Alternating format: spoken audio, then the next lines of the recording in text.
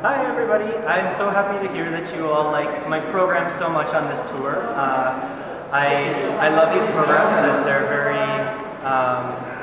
different and very unique for me.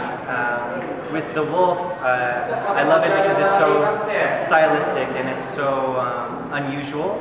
Uh, so I went to, after Nationals, I went to LA to uh, visit my friend Benji Schwimmer, who I've worked with for choreography a few times, um, on The Swing and on The Spy.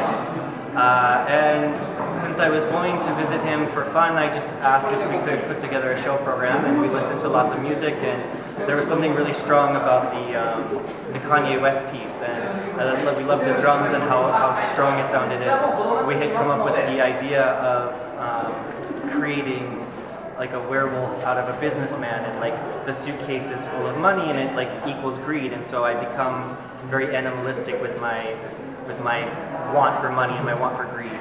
Uh, and it was very difficult at first for me to do this program um, just because it's a movement that I'm not used to and uh, it's, it's very fast and it just goes and goes and goes and it's very tiring.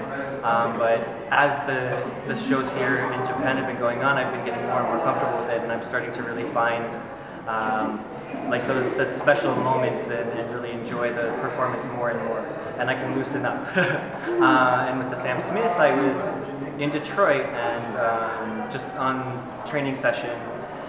And I was feeling creative so I put on just different pieces of music, uh, lots of different pieces, um, fast, slow, very just unusual and it was just moving and playing and uh, I put on the, the Sam Smith piece and it just started to all fall together like very easily and maybe in two hours I had the full program and uh, I didn't actually want to skate to it because this would be my fourth Sam Smith piece in one year and I thought it was too much but uh, there's just something about his voice and, and, the way he uses his instrument that uh, I can really connect with and I feel it, it, it uh, my skating can complement his voice and his voice can complement my skating really well. It just it works so perfectly, uh, and so that's how that happened. uh, but I have been loving these shows here with Mao, and uh, I always love seeing all of your faces in the audience and performing for all of you. And I'm so excited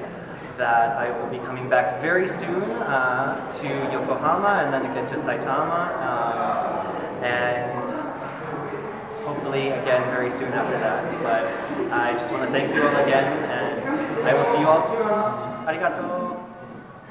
Thank you.